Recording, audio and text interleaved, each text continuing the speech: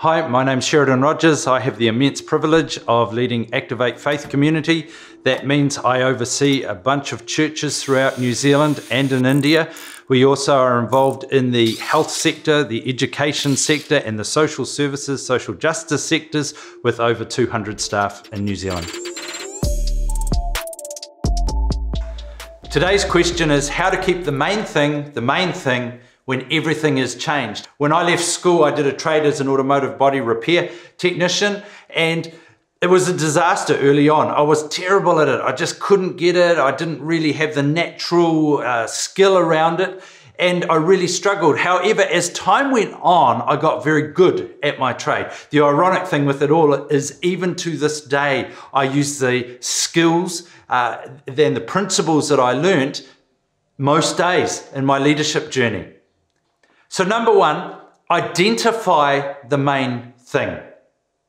How can you keep the main thing the main thing if you don't identify the main thing or if you don't know what your main thing is? Your vision and your mission must be crystal clear in order to keep the main thing the main thing. With a car, our, our mission was clear. It was to return it to factory specifications. That's what it was. Sometimes it was a big job, sometimes it was a small job, but the role that I had was very clear return it to factory specifications. You must know what you're trying to achieve. You must know your vision clearly, your mission clearly, in order to assess where you are.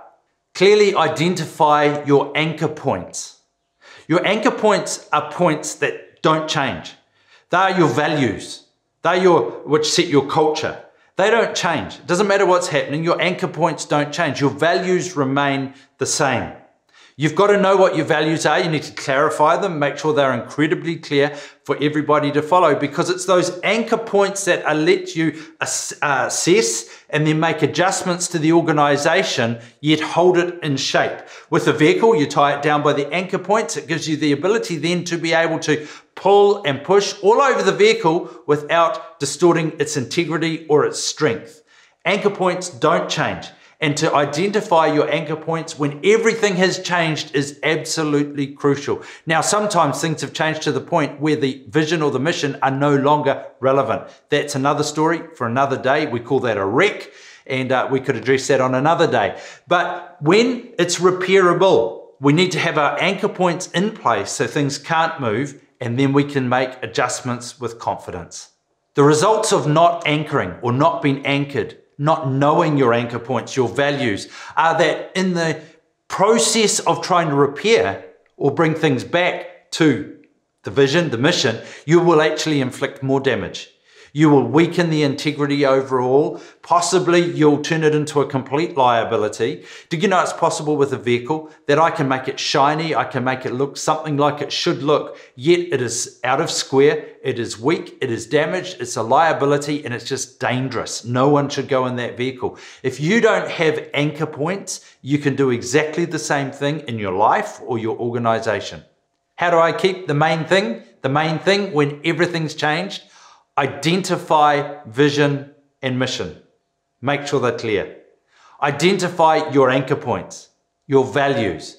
Make sure they're clear and they're reinforced. You know exactly what they are and then hold on to them firmly. The beauty of anchor points is even if one or two of them are slightly damaged on a vehicle, I can secure it still while I repair those points before I repair the rest of the vehicle or the organization in this case. The leadership tool is anchor points. Who's this for? Everybody, because at some point we all deal with unplanned change. I can apply this tool to myself, to my family, to my organization, to my business, to my church. It's applicable everywhere. This is a must have tool for your leadership toolbox. In the Bible, the book of Matthew talks about building on the rock. We know the rock is Jesus and building on his teachings. That rock is an anchor point. It doesn't shift. It is there. It's solid. You can build on it. You can change things around it, but the point doesn't change. In Exodus chapter 25, it talks about a, build, a building according to the pattern or to the plan. Again, the pattern, the plan has anchor points so that you can build according to the vision, according to the mission, what you've been called to do. Friends, the tool today is anchor points. Blessings.